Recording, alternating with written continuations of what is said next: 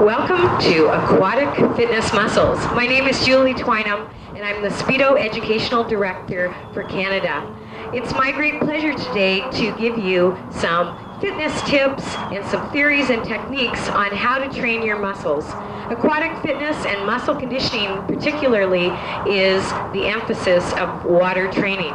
It's really important that you know where your muscles are, how they work, and how to do some stretching and strengthening exercises. Throughout this video, I'm going to be showing you three different options, or as I call it, opportunities for beginners, intermediates, and advanced participants with the strength exercises as well as flexibility exercises. I'm going to show some active and passive techniques.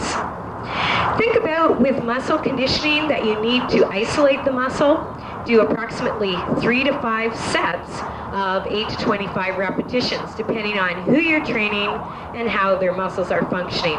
Remember, everybody's different, so it's important to go at your own pace, feel that you're working and getting the workout, but not stressing or hurting your body.